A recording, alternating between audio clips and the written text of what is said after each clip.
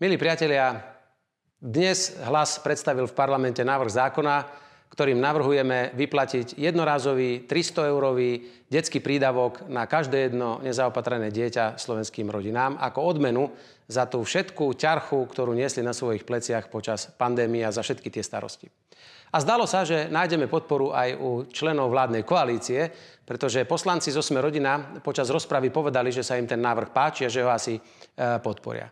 No medzi tým vznikla veľká búrka v Koši, bola zvolaná koaličná rada, čo som rád, že sme ich vyprovokovali v takejto aktivite. No a výsledkom tej koaličnej rady je, že náš návrh, ktorý sa mohol dotknúť milióna 100 tisíc detí na Slovensku, a teda asi 600 alebo 700 tisíc rodín, nepodporia. Naopak, prišli víťazoslavne s návrhom, že teda každému dieťaťu, ktoré je v hmotnej núdzi, vyplatia 333 eur.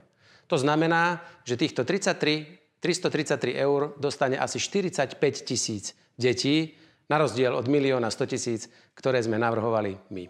Neviem, ako vysvetlia bežnej slovenskej rodine, kde matka zarába 700 eur, otec možno 800, že im štát a vládna koalícia odkázali, vy nepotrebujete odškodnenie za rok pandémie, za to, čo ste všetko museli prežiť, vám 300 eur nedáme. Dáme to len tým, ktorí vlastne nemajú žiaden príjem, nepracujú a sú v hmotnej núdzi. To znamená konkrétnej skupine ľudí, a konkrétne 45 tisíc deťom. Je to výsmech slovenským rodinám, je to výsmech vám všetkým, ktorí si to zaslúžite. A argument, že deti Borisa Kolára alebo iných bohatých ľudí prídavky nepotrebujú, súhlasím.